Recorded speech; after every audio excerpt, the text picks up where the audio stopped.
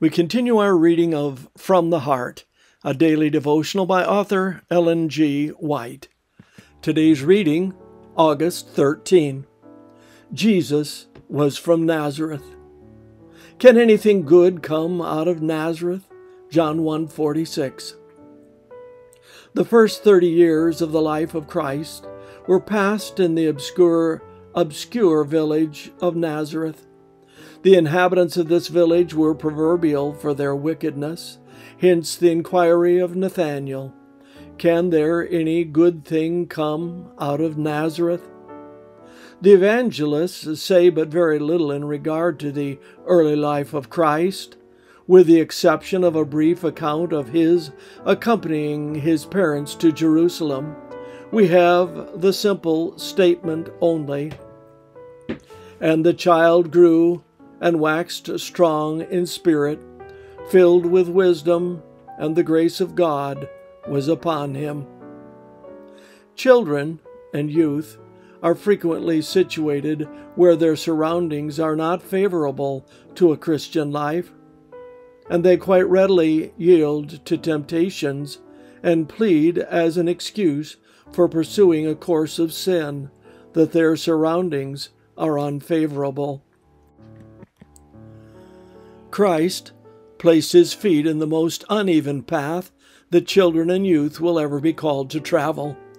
He did not have allocated to him a life of affluence and indolence. His parents were poor and dependent upon their daily toil for sustenance. Therefore, the life of Christ was one of poverty, self denial, and privation. He shared with his parents their life of diligent industry. None will ever be called to perf- perfect Christian character under more unfavorable circumstances than that of our Savior. The fact that Christ lived 30 years in Nazareth, from which uh, many thought it a wonder if any good thing could come, is a rebuke to the youth who consider that their religious character must conform to circumstances. If the surroundings of youth are unpleasant and positively bad, many make this an excuse for not perfecting Christian character. The example of Christ would rebuke the idea that his followers are dependent upon place, fortune, or prosperity in order to live blameless lives. Christ would teach them that their faithfulness would make any place or position where the providence of God called them honorable, however humble. The trials and privations of which so many youth complain, Christ endured without murmuring, and this discipline is the very experience the youth need, which will give a firmness to their character and make them like Christ strong in spirit to resist temptation. Through daily prayer to God, they will have wisdom and grace from Him to bear the conflicts and stern realities of life and come off victorious. Youth Instructor, March 18, 72.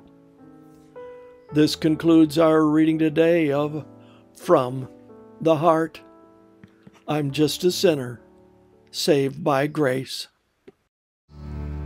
If you could see what I once was, if you could go with me back to where I started from, then I know you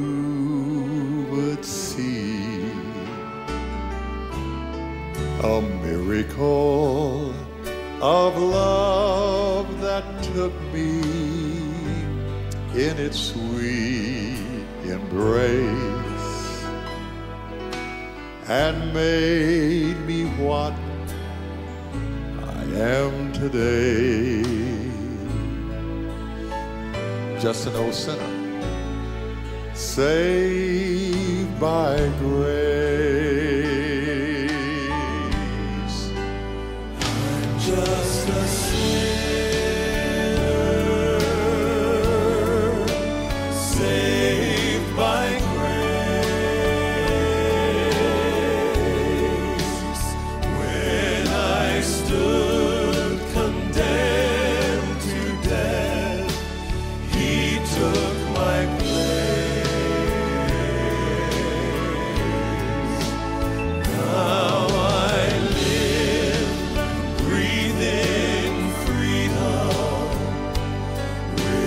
With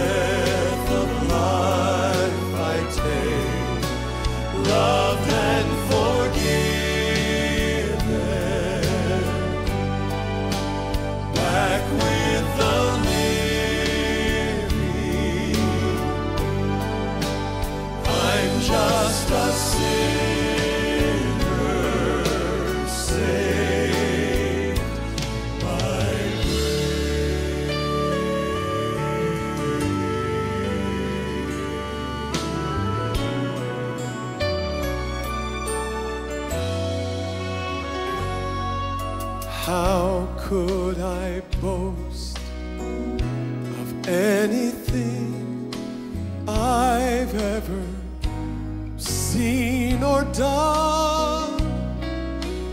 How could I dare to claim as mine the victories God has won?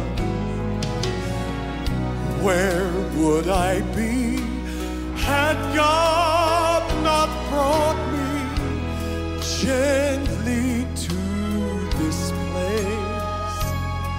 I'm here to say I'm nothing but a sinner